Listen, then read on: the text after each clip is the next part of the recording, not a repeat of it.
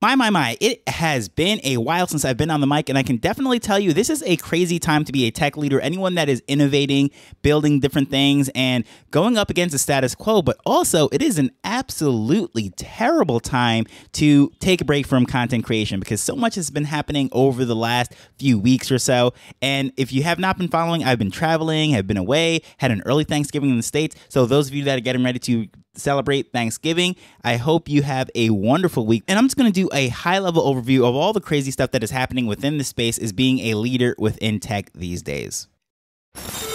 Hello, I'm Taj, digitally known as Tropic Vibes, the host of Nifty Business, where we highlight NFTs and explore Web 3.0 as we move from pure speculation to creating real world value.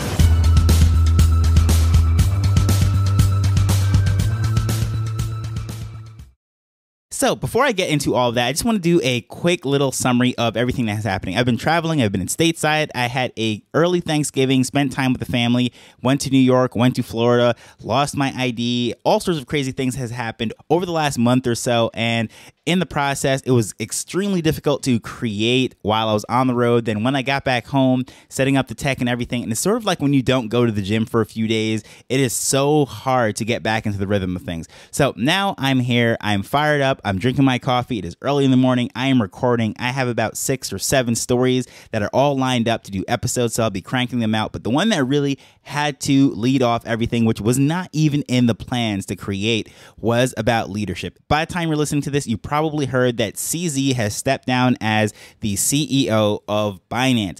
Absolutely crazy times, everything that's happening with all these various leaders, whether it be the SBF trial that finally was concluded, and I could have not been more wrong with that. I didn't know exactly how that was going to turn out just because he was so well connected, funding all of these different things and uh, rubbing elbows with politicians and leaders and so forth. I was like, you know what? This might be one of those things that he gets off on some sort of technicality or time served. But anywho, that chapter is closed. Absolutely great. That is over behind us old news at this point, but the CZ thing now could not be any further away from what happened with that. But people on Twitter, or X, I should say, are making that comparison as if CZ is the next one to fall. I'll definitely say that it is completely different. I'm not defending any of these guys. I have no shares in anything that these guys are doing.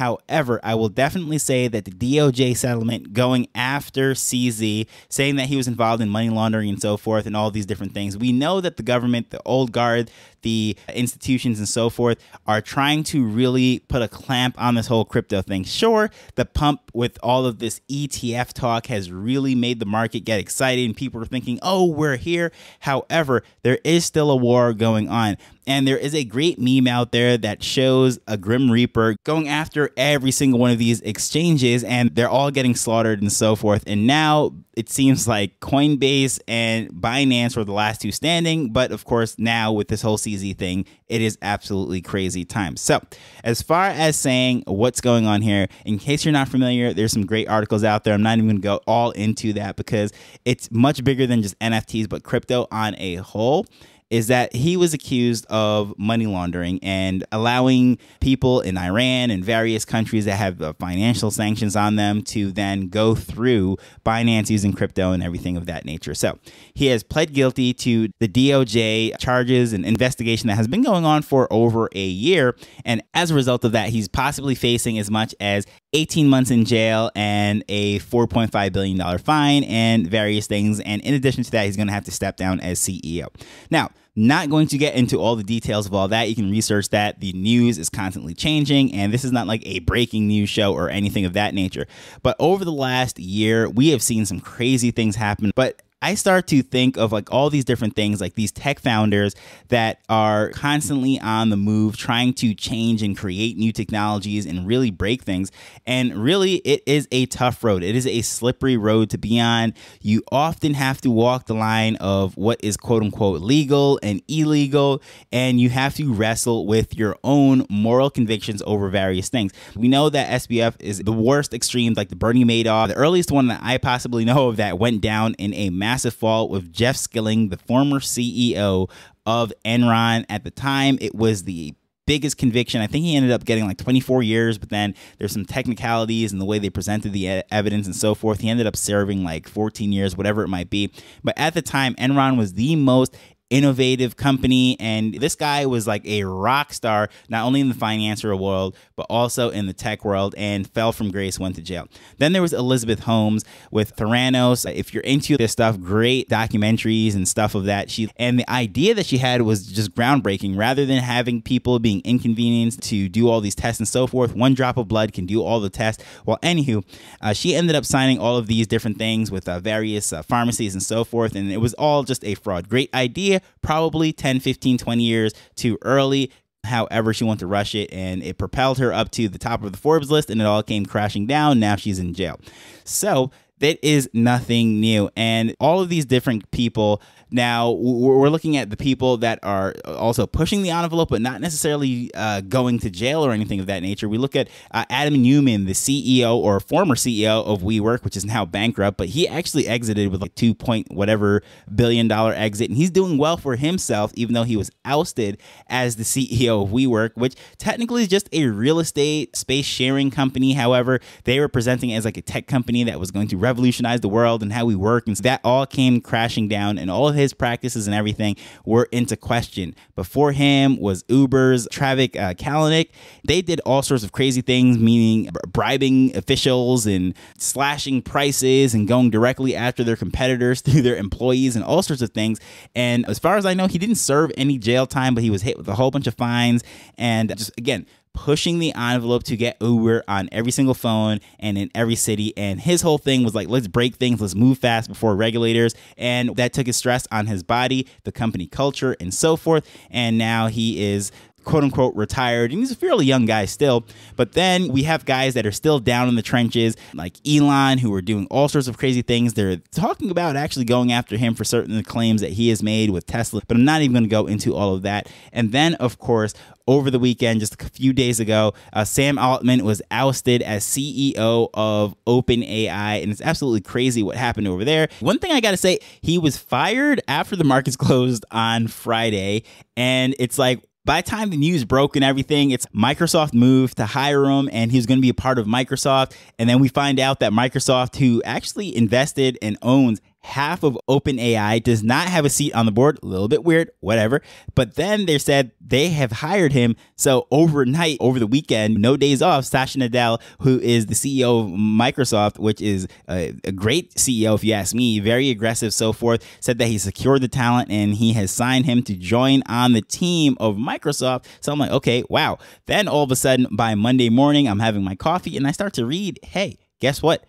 Sam Altman is back with OpenAI. So does that mean he's actually in the Microsoft team and then they're integrating and putting him back in or what exactly is happening? Some board changes are being made. Was this a personality thing? Who knows? All I know is that definitely the CEO of Microsoft is not going to just take some crazy risk on some guy. They had to do his due diligence and so forth. And it was probably some sort of personality clash or something with the board. Who knows exactly what went down there? But it's just very interesting to note that Sam Altman was fired, hired by Microsoft, and rehired or reinstated within a single weekend. So that, you know, I've had a last old month or so, whatever it might be, but that is a crazy weekend. But anywho, in case you're wondering what the heck is going on, what does it have to do with NFTs, Web3, or anything of that nature? And it really comes down to leadership, right?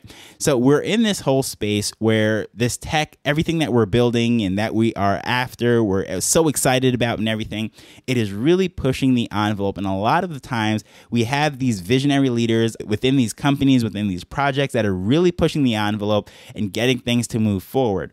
So a lot of the times we put our faith and our trust in them whether it be with Bored Apes, with their team, which has had a massive shakeup over the year. You just look through that, all the layoffs they've had, the founders have exited, gone on to various projects and uh, various team members and so forth. So a lot of shakeup happens within the tech space. However, there is still leadership, and leadership really pushes the envelope. And when we're talking about new technology, and when I say new technology, I, I, I, don't mean like this just rolled out of the gates because there's a famous quote that, or I should say, there's a quote that I absolutely love that I've put up on my Twitter, and it's not from some rock star that everyone knows, but the founder of the Carib DAO, DP, has said that there are kids in high school right now that have never lived in the world without Bitcoin. Why is that? Because Bitcoin came out in 2009. We like to think that cryptocurrencies, blockchain technology, Web3, everything is brand new, but technically it is not brand new. Just to give you a little perspective, if you've seen this presentation that I threw up on my Twitter feed and I put it up on LinkedIn, a couple other places,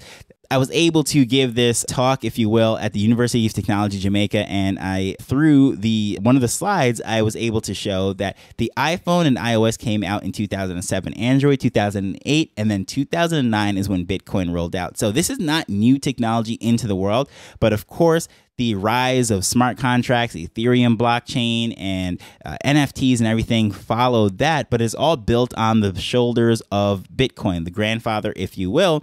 And that's why I say this is really not new technology. However, it is not massively adopted technology because even grandmothers at this point have iPhones and iPads and are, are familiar with iOS and the App Store and all of that. However, the average college student, the ones that are leading the whole tech revolution, if you will, don't even necessarily have their wallets. They're not into NFTs, Web3, and all that stuff. They don't even know what's going on here. So, as far as adoption goes, yes, it is new technology, but age wise, it is not. So, anywho, going to the whole thing as to what these leaders are doing and how these are absolutely crazy times, we know that there is a lot being pushed because there's a lot of money that is possibly being disrupted. We have Wall Street and the banking industries, we have all sorts of different things, and politicians and regulators and everything.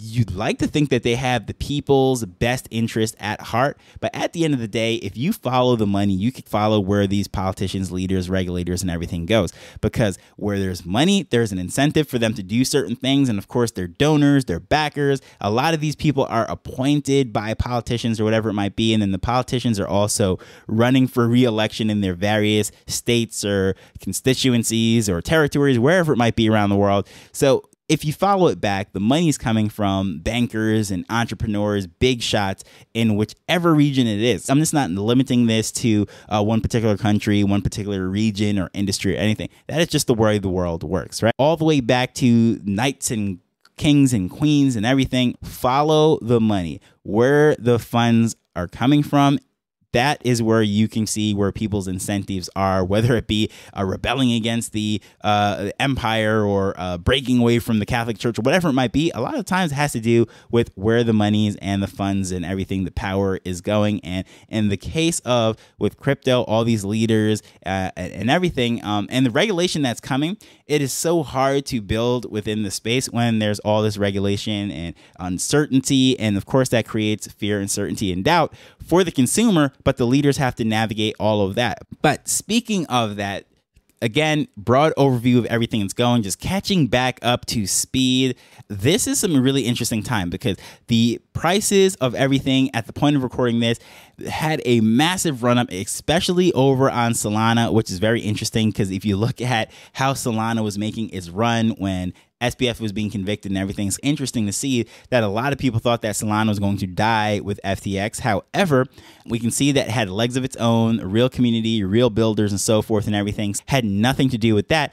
It is now having a life of its own, way beyond its initial backers and investors and so forth. But anywho, the market itself ran, and it's very interesting because normally you could just line it up with the stock market and the news and everything that's happening but it seems like things decoupled, if you will, took its own little path, and it's not even necessarily running parallel with what Bitcoin is doing because normally Bitcoin pumps and then everything else, NFTs, everything else follows with it and rides a wave off of that. However, over the last month or two, I would say that everything is having its own little independent resurgence here and there. Things are moving a little bit differently. There's excitement within NFT space. There's builders rolling out different things, and it almost feels like a bull market. Now, I'm not going to get ahead of myself and say we're back and all the stuff that I would love for that to be the case. However, I just don't know. And I am not Nostradamus, and you can uh, look at my predictions at the end of the year. I'll even speak about the predictions that I made coming into this year where I got things right, where I got got things wrong. And as you can see, we get a lot wrong. However, I can definitely say that generally uh, good vibes are in the space. People are excited again, and I'm excited for that. So, as I said, it was a horrible time to take that break, but whatever. It was great. Family spent time despite all the craziness and the traveling and everything that I went through. It's great to be back on the microphone, great to be back in the space. But I would love to have your feedback. If you have not already, please feel free to reach out to me on X at Tropic Vibes. Or if you're old school, you're not really into the whole uh, social media thing, which, hey, it is what it is. Feel free to email me. Shoot me a line over at mail at niftybusiness.co. Not com, but yes, dot .co with your thoughts, comments, and concerns, and I'll absolutely get back to you. Appreciate you for listening to this. Appreciate you for sticking around with me as we are going into uh, these times. Looking forward to hearing anything that you have to say. So I want to thank you for listening as we're learning and building Web3 together. So until next time, later. The Nifty Business Show is not investment advice, it provides insights and information within the space. As with anything, please do your own research before making a decision whether you're making an investment or a purchase.